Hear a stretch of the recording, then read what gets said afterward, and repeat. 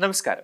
പാർലമെന്റിന്റെ ഇരുസഭകളിലും പാസാക്കിയ വനിതാ സംവരണ ബില്ല് ഉടൻ രാഷ്ട്രപതിക്ക് അയക്കാൻ തയ്യാറെടുക്കുകയാണ് കേന്ദ്രം. രാജ്യം കാത്തിരുന്ന സുപ്രധാന ബില്ലാണ് പാർലമെന്റിന്റെ ഇരുസഭകളും പാസാക്കിയിരിക്കുന്നത്. ഇന്നലെ ഏറെ വൈകിയാണ് രാജ്യസഭ ബില്ല് പാസാക്കിയത്. രാജ്യസഭയിൽ ഇരുന്നൂറ്റി പതിനഞ്ച് പേരാണ് ബില്ലിനെ അനുകൂലിച്ചത്. ഇരുപത്തിയഞ്ച് വർഷത്തിലേറെയായി കെട്ടിക്കിടന്ന ബില്ല് പാസാക്കിയതിലൂടെ നരേന്ദ്രമോദി സർക്കാരിനും ഇത് വലിയ നേട്ടമാണ്. രാജ്യത്തിന്റെ കുതിപ്പിന് കരുത്തേകുന്ന വലിയ തീരുമാനമാണ് ബില്ല് പാസാക്കിയതിലൂടെ നടപ്പിലാക്കിയിരിക്കുന്നത്.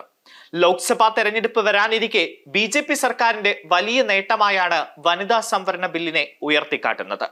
ഇക്കാലം എത്രയും ബില്ല് പാസാക്കാൻ ശ്രമിച്ച് പരാജയപ്പെട്ട സ്ഥാനത്ത് പ്രധാനമന്ത്രി നരേന്ദ്രമോദിയും ബി ഇപ്പോൾ വിജയം കൈവരിച്ചിരിക്കുകയാണ്. ഇത് നമ്മുടെ രാജ്യത്തിന്റെ ജനാധിപത്യ യാത്രയിലെ നിർണായക നിമിഷമാണ് എന്നാണ് രാജ്യസഭയിൽ ബില്ല് പാസാക്കിയ ശേഷം പ്രധാനമന്ത്രി പറഞ്ഞത്. ബില്ലിനു വേണ്ടി വോട്ട് ചെയ്ത എല്ലാ രാജ്യസഭാംഗങ്ങൾക്കും അദ്ദേഹം നന്ദി അറിയിക്കുകയും ചെയ്തു.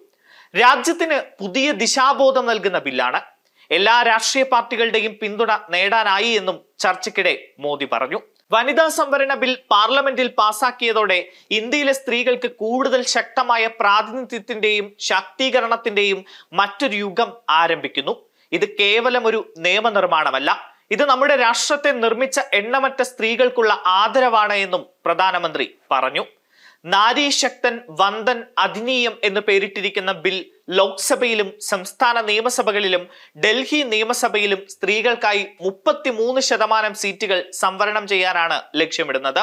ആദ്യ സെൻസസിന്റെ കണക്കുകൾ പ്രസിദ്ധീകരിച്ചതിന് ശേഷമേ മണ്ഡല പുനർനിർണയം നടത്തി സീറ്റുകളുടെ സംവരണം പ്രാബല്യത്തിൽ വരികയുള്ളൂ.